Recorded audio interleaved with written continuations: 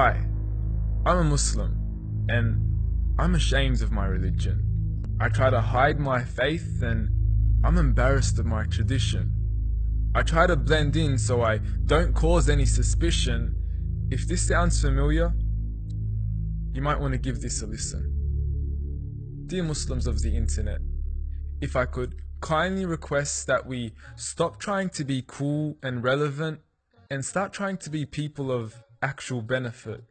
If we can stop trying to fit in and start trying to stand out, I mean, we were never meant to blend in, and I assure you, we were never meant to just go along with the crowd.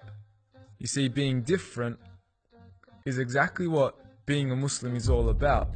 As the Prophet ﷺ said, فَطُوبَى لِلْغُرَبَاء Glad tidings to those who are strange. But unfortunately today when it comes to our faith, most of us are ashamed. We try to hide our identities and even change our names, which is funny since those on falsehood aren't hiding at all, they're in full public display, walking proudly down the streets, even waving flags in parades, and I'm not taking any shots, nor am I here to complain. I'm just saying it's about time things start to change. We should be proud to be different and embrace the fact that we're not the same.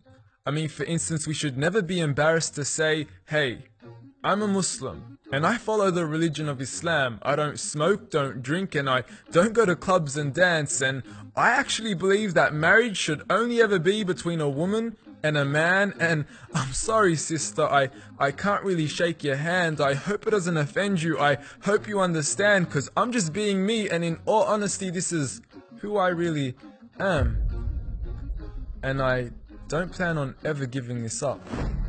See, I'm a Muslim. And Allah told us, كنتم خير أمة أخرجت للناس that we're the best of nations, brought forth for the people. We command the good and we forbid the evil, and we believe in God with no partners nor any equals. So why should I be ashamed? I mean, we're the kind of people who are kind to people and treat others like we like to be treated. And we have Allah as the friend, the protector, and the supporter of the believers. And we have Muhammad sallallahu alayhi wasallam, the best of all leaders. So I honestly don't understand why we would ever feel defeated. I mean, why do we feel the need to always leave our faith neglected? Or that we need to give up our ways in order to be accepted, or we need to rearrange and reform our faith so we can some way have it corrected, failing to realize that you can never improve something that Allah has already perfected. And yes, I get it.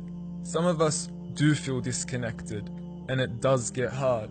We might slip and fall, and at times we might feel far, and this is normal for sure. I mean, it's why we were taught to make the dua, O turner of hearts, keep my heart steadfast. So don't worry and be calm and keep yourself connected to the righteous, the pious, and above all, the houses of Allah. And if you still feel disengaged, or you just feel out of place, or if you came and you were turned away for your looks or your past mistakes, it's, it's fine, it's okay. Just keep trying, keep praying. And at the end of the day, no matter what happens, never lose your faith. Never be ashamed.